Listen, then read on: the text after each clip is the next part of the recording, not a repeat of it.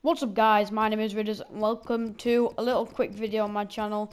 Today um, I'm just want to talk about uh, basically doing a series on my channel because I started one a while ago, it was quite fun to do but it wasn't the best and I think I can maybe improve the quality of it and get me a few, quite a few subscribers hopefully and hopefully you guys will enjoy it and follow the series through.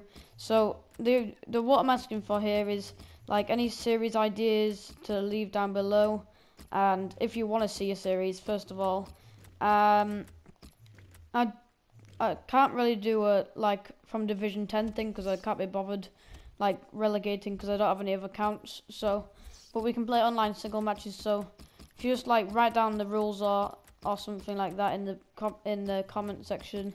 And that's all I have to say, to be honest, because I just sort of want to do vary my content again, because I stopped really playing COD a bit for a bit, so I'm not going to be playing that for a while. Um, well, I'm preferring FIFA a lot more, so that's why I haven't done a COD video in a while, and I'm sure you guys aren't that bothered by it anyway. Um, I've been doing the squad builders, which have been doing well, but I sort of want to carry on doing squad builders as well as a little series as well. So comment down below what you think. Um, and yeah, so I'll read you guys' comments and respond to them.